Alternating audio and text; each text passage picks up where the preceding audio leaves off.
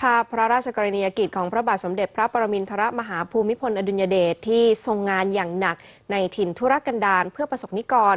กลายเป็นแรงบันดาลใจในการทำงานให้กับหลาย ๆ คนนะคะ รวมถึงเด็กหนุ่มคนหนึ่งค่ะที่แม้จะสอบปลัดอำเภอได้เป็นที่หนึ่งของประเทศนะคะครับแต่กลับเลือกเริ่มต้นชีวิตราชการในอำเภอที่เต็มไปด้วยความธุรกันดารเพื่อเข้าไปช่วยพัฒนาชีวิตชาวบ้านค่ะ เหมือนการสืบสารพระราชปณิธานของพระองค์ท่านนะครับ คุณมนตรีตระกูลสมบัติพาไปรูู้้จักแล้วก็สัมผัสความคิดของประหลัดหนุ่มคนนี้กันครับ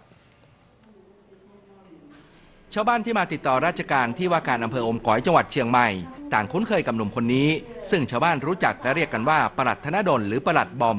ทำหน้าที่ประหลัดอำเภออมก๋อย ซึ่งคอยสอบถามให้คำแนะนำต่างๆ อย่างเป็นกันเอง กลายเป็นขวัญใจชาวบ้าน แม้จะมาอยู่ที่นี่ได้เพียงหนึ่งปี เข้ากับชาวบ้านได้ดีค่ะ มีอะไรเราก็ปกติก็ติดต่อ มีงานอะไรก็ติดต่อหารือกันอยู่แล้วค่าใจดีค่ะแกทำงานเพื่อชุมชน เป็นเป็นคนที่มีความตั้งใจ แล้วก็เป็นคนที่ชอบพื้นที่ลุยพื้นที่ได้ดีนะครับ อยู่ได้ปีเดียวนี่รู้เกือบทุกอย่างว่าเข้าทางไหนอะไรอย่างไหนนะครับ เข้ากับชาวบ้านเป็นสุดยอดครับ ผู้ใหญ่บ้านกำนันชาวบ้านท้องถิ่นแฮปปี้กับน้องคนนี้มาก แล้วแต่ว่าจะไปตำบลไหนอะไรเงี้ยครับ ผมครับว่าว่ามีมีงานอะไรที่ในพื้นที่แล้วเกี่ยวข้องกับเราที่จะเข้าไปดู เพียงหนึ่งปีที่มาอยู่อมก๋อยพื้นที่ที่ธุรกันดารที่สุดแห่งหนึ่งของประเทศ ปลัดบอมออกพื้นที่เยี่ยมชาวบ้านมากกว่าครึ่งหนึ่งของ 95 หมู่บ้าน และอีกกว่าร้อยหย่อมบ้านบนดอยสูง ซึ่งเส้นทางค่อนข้างยากลำบาก แม้จะเป็นหนุ่มจากกรุงเทพ จบรัฐศาสตร์ธรรมศาสตร์ สอบเข้าปลัดอำเภอในรุ่น 208 เมื่อปีที่แล้วได้เป็นอันดับที่หนึ่งของประเทศ แทนที่จะเลือกทำงานในเมืองกรุงหรือใกล้บ้าน แต่ปลัดบอมกลับเลือกเริ่มต้นชีวิตราชการที่เวียงแหงอำเภอชายแดนของเชียงใหม่ ก่อนย้ายมาอมก๋อย เพราะคิดว่าความรู้ความสามารถที่มีเป็นประโยชน์มากกว่า ในความหลากหลายในการที่ได้ช่วยเหลือคงไม่มีโอกาสเท่าตรงนี้ครับ ซึ่ง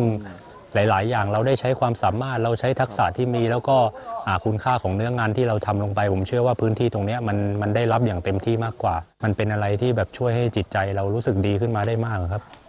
ในในแง่ของงานที่เราทำลงไป แล้วมันเกิดประโยชน์กับเขาอะครับ ในระหว่างการเยี่ยมชาวบ้านสิ่งที่เราเห็นจากปลัดหนุ่มคนนี้ คือความทุ่มเทตั้งใจ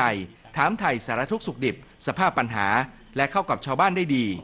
ซึ่งเขาเล่าว่าสิ่งที่เป็นแรงบันดาลใจสำคัญ คือภาพพระราชกรณียกิจของในหลวงรัชกาลที่ 9 ที่ทรงทุ่มเททรงงานอย่างหนักตามถิ่นธุรกันดารทั่วประเทศ เพื่อให้พระสงฆ์นิกรมีชีวิตที่ดีขึ้น ซึ่งเขาเห็นมาตลอดชีวิต พระองค์ท่านแบบทรงมีความห่วงใยใส่ใจในประสงค์นิกรของท่าน